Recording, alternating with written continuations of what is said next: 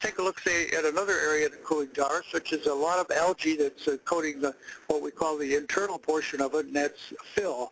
In this case, splash fill. Uh, why is algae a bad consideration? Uh, it's because it can harbor things like Legionella bacteria. Has food source, of course, for for uh, uh, all types of other bacteria. Uh, it can plug up sprays and what have you. However, it may increase a cooling tower efficiency if it's using splash fill. Would you say, how can that happen?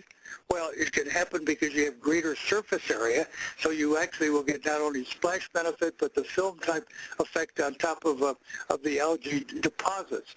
What you need to do to be able to control this type of situation is to maybe add the biocide to the cooling tower return water so it is actually going over the top of the tower and down through the tower and you must maintain a residual through that fill if you're using an oxidant, at least a half a ppm of free oxidant, or if you use a non-oxidizing biocide, uh, you can use a, a weekly or until it, all the algae has disappeared and then maintain it free.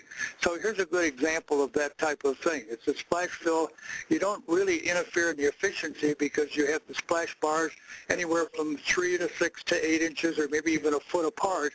So you never have a total pluggage of that particular system, but you do have, uh, it looks bad, number one, the plant manager would not like to see it, and probably the worst thing is that if you see algae, chances are you've got some Legionella bacteria present there too. So keep those in mind that you want to try to eliminate that with good water treatment program. Another area that we should deal with, of course, is again the internal portion of the cooling tower, and that's where their high density film pack fill. Uh, if you get uh, this very high density film pack fill plugged, it will restrict the water flow and therefore reduce the tower efficiency, and even it can build up enough weight within that particular fill to collapse it into the tower basin. We've seen that happen a number of times. Frequently you can't see it too easily because it's normally within inside that uh, film pack fill, and I'll show some examples of that in just a second, uh, it, and was, it looks like it's okay if you look from underneath it. If you look at the top, it looks like it's okay. But internally, it could be loaded with uh, biomass and biofilm. And we usually find that it is the biological organisms that are using the, it's the glue that's holding together uh, even suspended materials that get into the cooling tower. You need to add a good biocide a good dispersant to the return water to the cooling tower to make sure that you have good oxidant being positive out of the fill so that you actually will prevent that biomass from building up.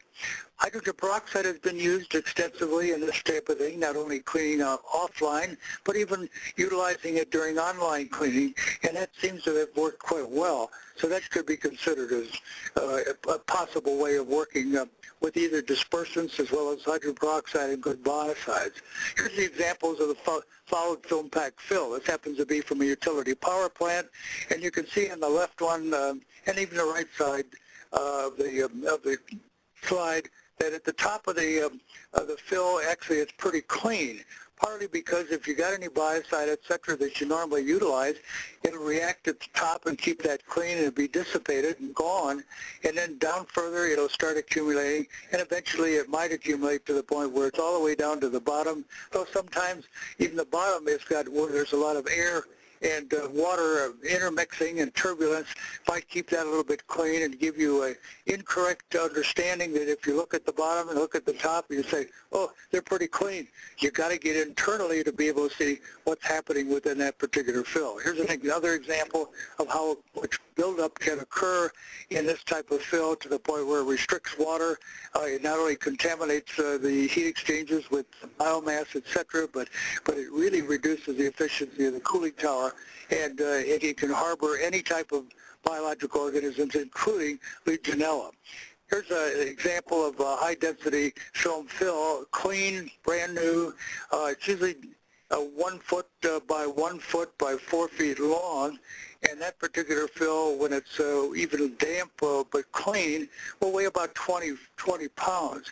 We've actually had towers where it's weighed over 200 pounds because of the accumulation of biomass and suspended solids scale and corrosion products. So you have to be careful.